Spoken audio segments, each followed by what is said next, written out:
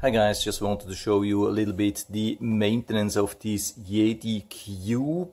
I'm using this now since a couple of months and I'm in general super happy with it. Maybe it's not the absolute perfect robot, but it's pretty close to that. The only thing which I miss is maybe a camera here built in. But other than that, it has pretty much everything which you could imagine and it works really super, super reliable.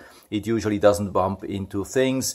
It hasn't caused any damage and it never got stuck, I think, till now. So that's one of my most important things. So let's go to the maintenance. So we have the water tank here and every time after using it for mopping, it leaves a lot of dirty water here inside. And so it's very important to clean it and rinse it right after that. What's awesome here compared to other wet vacuums is that there is only water here inside. It's super dirty water, but it's only water. There is no dust or so. It cannot clog anything, so you can just pour it down the drain. You don't have to be really careful with that, and it works really good. It has even a stopping mechanism here if it overfills, but it has never done this. So after pouring the dirt water out, rinsing it, I let it dry for a day or so, and only after that I put it back. What's really important important is that we properly close it.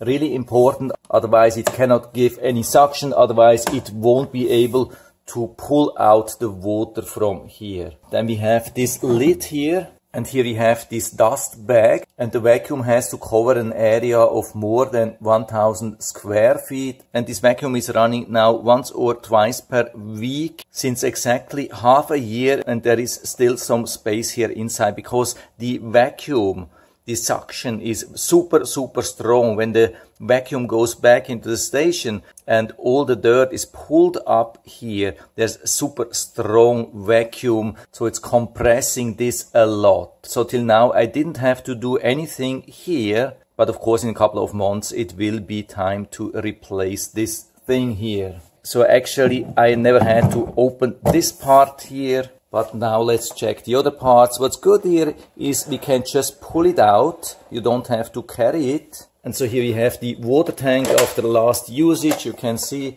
it has pretty much used all the water up. So what I sometimes do, maybe every month or so, I pour out the remaining water and let it fully dry and only after that fill it up. But usually I just fill it up.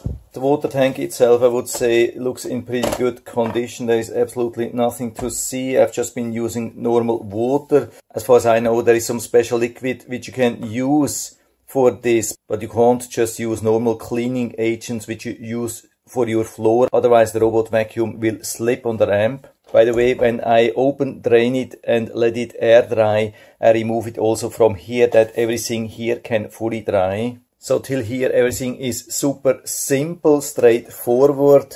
Absolutely no problem so far. So let's go a little bit to the more tricky parts. That's the dustbin which we have here. And so let's look into that. You usually don't have to do anything here after normal cleaning, but I would say every month or at least every two months, it's highly recommended to do a cleaning of this filter or the whole compartment. So we can open this here by pushing this button and you can see there is a little bit of dust left here inside, but not a lot. But we can see that there is some dust also in the filter. And so I have it here. Light is definitely not the best, but I hope you can still see that. Let's remove this outer part here. And so we have the mesh here inside, we have this soft filter, and we have this larger filter. And so we use just a duster also for this one here and of course also for the inside. And at least according to these instructions looks like we could even wash all these parts here let them dry and put them back.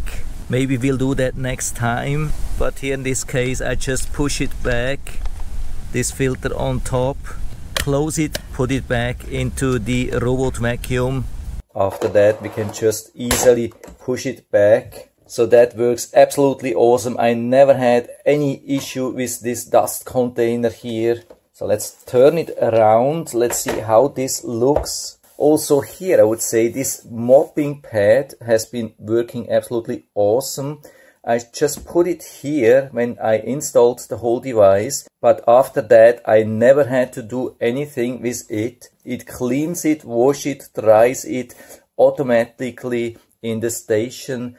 I don't have anything to do with it, but here are three parts which we have to maintain on a regular base. That's the main brush and the side brushes. The main brush itself keeps itself pretty clean much cleaner than what I've seen from other robot vacuum cleaners. Most robot vacuum cleaners collect a lot of hair here inside, which is definitely difficult to remove. Here on this vacuum robot, most of the hair is stuck on the side brushes. It doesn't even really compromise the cleaning, but I still clean it every now and then, take a towel and remove most of the hair. You don't have to remove everything, doesn't have to be super clean, but usually do it like that.